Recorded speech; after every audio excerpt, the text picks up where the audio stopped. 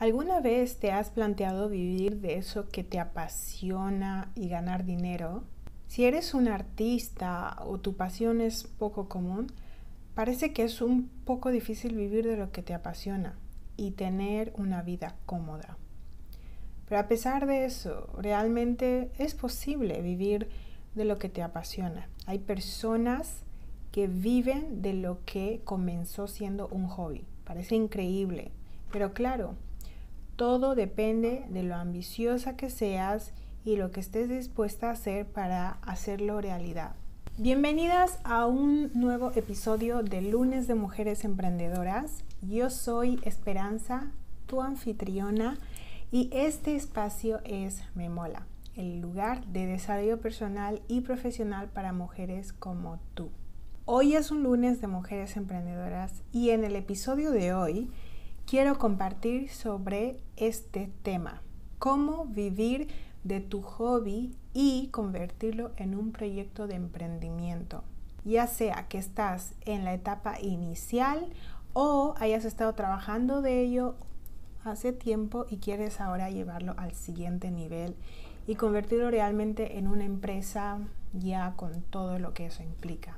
Antes de comenzar a compartir las cosas que tengo en mente, Quiero abrir el episodio de hoy recomendándote un libro que estoy leyendo. Es buenísimo. Encaja perfectamente con el tema de hoy y estoy muy segura que no solo te ayudará a descubrir tu esencia, sino a mantenerte fiel a ti misma y evolucionar o madurar en distintas áreas de tu vida a nivel profesional. El libro se titula Ikigai los secretos de Japón para una vida larga y feliz. Una de las frases que me llamó la atención en este libro suena así. Todas las cosas que tenemos y las personas que queremos en algún momento desaparecerán. Fin de la frase. Ser conscientes de esto ayuda a decidir realmente en qué quieres invertir tu tiempo y tu energía. Y lo más importante, definir qué es el éxito para ti y medir tu avance en base a eso. Así no entramos en el círculo vicioso de las comparaciones y de el sobrecargarnos mentalmente porque sentimos que no lo hacemos bien. Ahora bien, vivir de tu pasión o hobby, perfectamente posible. Sin embargo, si estás empezando y no tienes cómo sustentarte económicamente, deberás desarrollar un plan de acción con estrategias que te ayuden a materializar ese deseo. Como dijo Confucio, cito la frase, escoge un trabajo que ames y no tendrás que volver a trabajar un solo día de tu vida. Para empezar, debes ser lo más realista posible en tu situación actual. Ser realista y visionaria Muchas personas confunden ser realista con el pesimismo. Sin embargo, ser realista te ayuda a ser consciente del aquí y del ahora. Ser realista con tus necesidades económicas y tu situación actual. Por lo que eso nos lleva a lo siguiente. Si estás trabajando y te gustaría dejar tu trabajo actual para montar tu propio proyecto empresarial que está basado en ese hobby que haces después de trabajar o antes de trabajar. Tienes que saber que para montar tu proyecto empresarial y poder sustentarte económicamente vas a necesitar dinero, ya sea como inversión inicial o simplemente para evolucionar tu proyecto.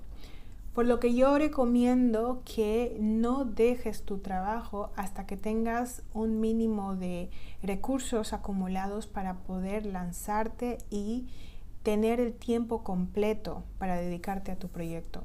Cuando tienes un trabajo, ya sea un trabajo de jornada parcial o jornada completa, que te proporciona unos ingresos estables cada final de mes, entra en juego la gestión de estos ingresos para poder sacar de ahí dinero que te va a ayudar a poder materializar esta visión. Hay un vídeo en mi canal de YouTube donde estoy hablando de la gestión de dinero. Lo voy a dejar en la parte de descripciones de este vídeo para que puedas ir a ello. En ese vídeo estoy explicando cómo gestionar nuestro dinero. Soy consciente de que depende de tu situación social, puede ser más complicado para algunas personas que otras. Me explico.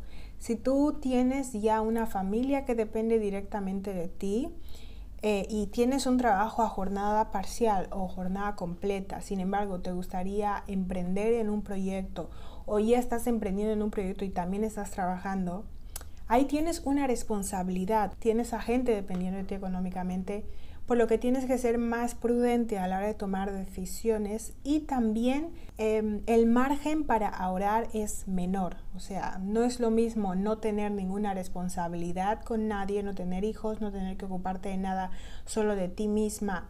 Es simplemente apartar un monto mensual y ahorrarlo para invertirlo en tu proyecto personal. Pero si tienes hijos o tienes a personas que dependen directamente de ti, va a tomar más tiempo para que tú puedas reunir la cantidad que necesitas para hacer ese proyecto. Es importante que no solamente tomes eso en consideración, sino que revises la forma en la que gestionas tus finanzas. Ahora, si no tienes un trabajo y simplemente quieres empezar un proyecto de emprendeduría, toma muchísimo valor hacer eso, porque al principio nadie te conoce, nadie sabe lo que eres capaz de ofrecer y tendrás que empezar creando algo para darte a conocer, ya sea una página web o una cuenta de Instagram, una red social, pero la gente necesita saber lo que haces y el valor que proporcionas. Y de esa manera puedes empezar a crear contenido en torno a lo que haces, a tu hobby y darte a conocer y promocionar y ver cómo empezar a ganar clientes. Pero de igual forma te tienes que sostener económicamente de alguna manera. Así que si puedes conseguir un trabajo de jornada parcial, te iría genial.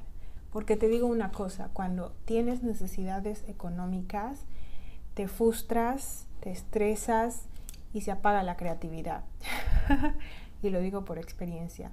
Dicho esto, voy a cerrar el episodio de hoy, que no es muy largo, Espero que te haya servido de algo. Si tienes un hobby, eres un artista o tienes cualquier tipo de hobby que no tiene nada que ver con el arte, pero igual no es algo común y corriente y quieres convertirlo en un proyecto empresarial, tienes que pensar en un plan de acción con estrategias. Y algunos de los puntos son los que he mencionado.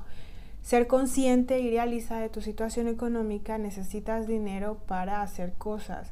¿Cómo puedo conseguir ese dinero? ¿Qué puedo hacer?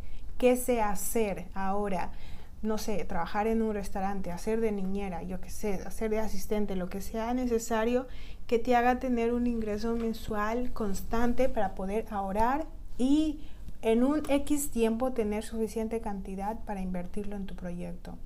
Y ya después, cuando ya has decidido que, ok, a partir del 2021 voy a lanzar mi proyecto, ya tendrás un colchón económico sobre el cual apoyarte. Claro que no será mucho, pero lo importante será dar el paso. ha sido un episodio intenso y de mucha autoreflexión porque siento que me estoy hablando a mí misma. Estoy muy encantada de compartirlo contigo. Espero verte en el próximo lunes de Mujeres Emprendedoras no te olvides de dejarme tus ideas y comentarios en la parte de descripciones. Un abrazo y que tengas una semana súper agradable y productiva.